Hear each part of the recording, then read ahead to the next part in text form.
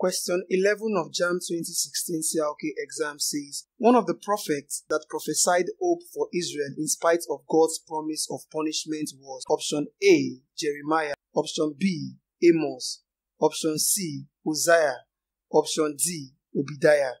Now, the correct answer to this question is option A, Jeremiah. Jeremiah was one of the prophets that prophesied hope for Israel despite God's promise to punish them. And this can be seen in Jeremiah chapter 30 from verse 1 and 3. The word that came to Jeremiah from the Lord. Thus says the Lord, the God of Israel.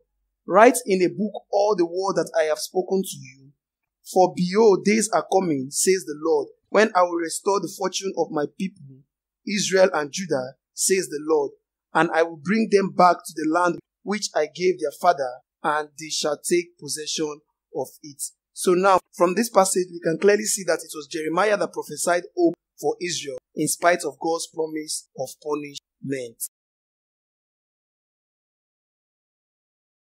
Question 12 of JAMB 2016 CRK exam says, Holy, holy, holy is the Lord of hosts. The statement above was made in reference to option A, Jeremiah, option B, Ezekiel, option C, Isaiah, option D, Amos. Now, the statement above was made in reference to Isaiah, and this was when he was talking about the vision of God he had in the temple. And this can be seen in Isaiah chapter 6 from verse 3. So our correct answer to this question is option C, Isaiah. Question 13 of JAMB 2016 CRK exam says, in Jesus' teaching about the true vine, he said, Anyone who does not abide in me shall be option A, crucified with him, option B, cast forth, option C, taken away, option D, remembered on the last day.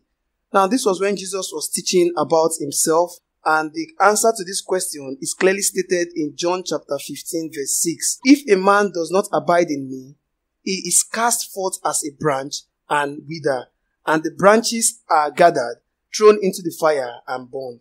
So now from this passage, we can clearly see that our correct answer is option B, cast forth. Question 14 of JAMB 2016 CRK exam says, Paul returned Philemon's slave back to him to ensure that option A, he would be welcome when he left prison. Option B, the slave can complete his service time. Option C, to ensure that Philemon forgave and accepts the slave. Option D, he could boast of Philemon's obedience. Now, Paul's letter to Philemon was for Philemon to forgive his slave, Onesimus. And the letter was talking about forgiveness, was totally about forgiveness. And the reason why Paul returned Philemon's slave back to him was to ensure that Philemon forgave and accepted the slave back. So our correct answer is option C, and this can be seen in Philemon chapter 1.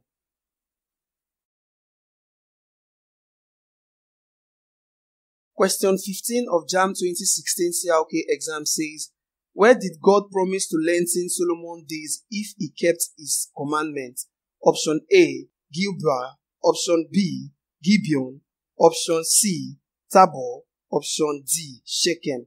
Now, the correct answer to this question is option B, Gibeon. Gibeon was an important high place where Solomon used to offer a thousand burnt offering. And it was at Gibeon the Lord appeared to Solomon in a dream by night and said that Solomon should ask anything, which Solomon did ask for wisdom and understanding to rule his people. And because Solomon did not ask for riches or the life of his enemies, the Lord gave him wealth and also made him famous. In 1 Kings chapter 3 verse 14, which says, And if you walk in my ways, keeping my statutes, and if you walk in my ways, keeping my statutes and my commandments, as your father David walked, then I will lengthen your days. And all this thing was at Gibeon when Solomon went and offered burnt offering, and the Lord appeared to him in a dream. So our correct answer is option B. Question 16 of JAMB 2016 CRK exam says, This man is the power of God which is called great. The statement above referring to Simon the magician was made at option A, Macedonia, option B, Jerusalem, option B, Samaria, Option D, Ephesus. Now, the correct answer to this question can be seen in Acts chapter 8 from verse 9 and 10, which says, But there was a man named Simon who had previously practiced magic in the city and amazed the nation of Samaria, saying that he himself was somebody great. They all heed to him, from the least to the greatest, saying, This man is that power of God which is called great. Now, from this passage, we can clearly see that man practiced the magic in the city and amazed the nation of Samaria. So this statement above was made in the city of Samaria, and the correct answer is option C, Samaria. Question 17 of JAMB 2016 CRK exam says, Paul in Romans said that the righteousness of God had been manifested through faith in Jesus Christ for option A, the cleansing of sins, option B, the exaltation of the authority, option C, all those who believe, option D, dead in Christ. Now, this was when Paul was talking about being justified by faith, and the correct answer to this question can be seen in Romans chapter 3 from verse 21 and 22 that says, But now the righteousness of God had been manifested apart from the law, although the law and the prophet bears witness to it, the righteousness of God through faith in Christ Jesus for all who believe.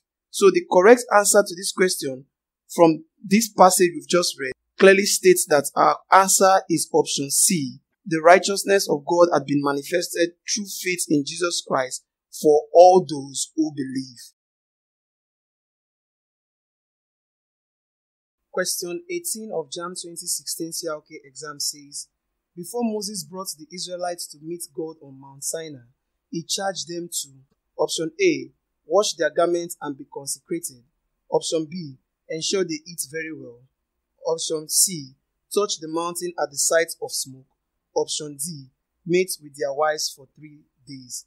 Now, the correct answer to this question is option A, wash their garments and be consecrated. And this can be seen in Exodus chapter 19, verse 14, when Moses told the word of the people to the Lord, and the Lord said to Moses, Go and consecrate the people today and tomorrow, and let them wash their garments and be ready on the third day. For on the third day, the Lord will come down on Mount Sinai in the sight of all the people. So, before Moses brought the Israelites to meet the Lord on Mount Sinai, he charged them to wash their garments and be consecrated for three days. Question 19 of JAMB 2016 CRK exam says, In Matthew's account of Jesus' burial, Joseph, who requested the body of Jesus, was option A, kingdom seeker, option B, the council's elder, option C, his disciple, option D, a gospel lover. Now, the correct answer to this question is clearly stated in Matthew chapter 27 from verse 57, which says, When it was evening, there came a rich man from Arimathea named Joseph, who also was a disciple of Jesus. Now, from this passage, it is clearly stated that Joseph of Arimathea, who requested the body of Jesus Christ, was also a disciple of Jesus. So the correct answer to this question is option C, his disciple. Question 20 of JAMB 2016 CRK exam says, What was God's immediate punishment to David for taking Uriah's wife? Option A, God sent Nathan to him. Option B, David's son by Bathsheba died. Option C, Absalom conspired against him. Option D, Solomon built the temple in his place. Now, the correct answer to this question is option B. David's son by Bathsheba died. Now, when David killed Uriah and took his wife, God was angry with David's action and sent prophet Nathan to him to tell him his sins and his punishment. When Nathan told uh, David his sins, David prayed and fasted, and God sent Nathan back to him to tell him he has forgiven his sin. But because of he had shown contempt to the Lord, the son born to him would die. And after Nathan had gone home, the Lord struck the child that Uriah's wife had born to David, and he became ill. And seven days later, the child died. And that was God's immediate punishment to David for killing Uriah and taking his wife. So this story can be seen in 2 Samuel chapter 12 from verse 13 to 18. So our correct answer to this question, like I said earlier, is option B. David's son by Bathsheba.